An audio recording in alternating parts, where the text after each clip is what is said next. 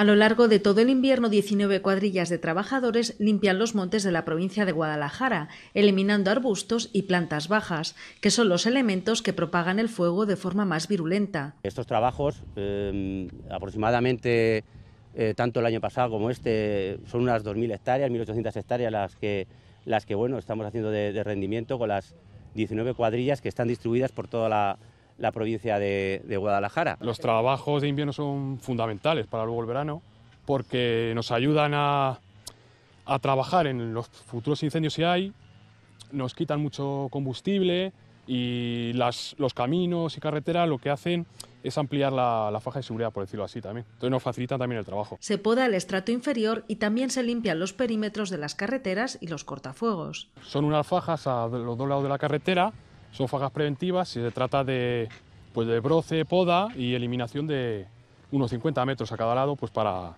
prevención de posibles incendios por colillas o cosas así. Los trabajos de servicultura preventiva se realizan durante todo el año. El dinero que, que viene aquí a Guadalajara para realizar estos trabajos son más de 7 millones de euros, con lo cual estamos bastante conformes y contentos con que esto eh, se realice aquí en Guadalajara y como digo, el pasar estos trabajos en esta legislatura a los 12 meses, desde los 9 que había, pues es un trabajo importante. 330 personas trabajan en la provincia de Guadalajara en la prevención y extinción de incendios.